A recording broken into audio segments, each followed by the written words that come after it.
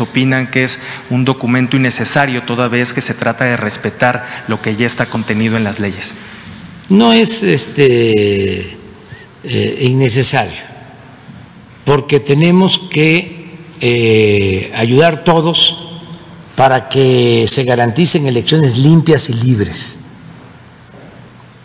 Yo he hecho referencia en otras ocasiones de cómo el presidente Madero le escribía a los gobernadores cada vez que iba a haber una elección para recomendarles de que se respetara el voto, de que eh, no se cometiera fraude. Y eso es lo que estamos ahora este, haciendo, es un acuerdo por la democracia para que ya no se utilice el presupuesto con propósitos electorales, que no se repartan despensas, que no se compre con dinero el voto, que no se amenace, que no se condicionen los programas sociales al voto,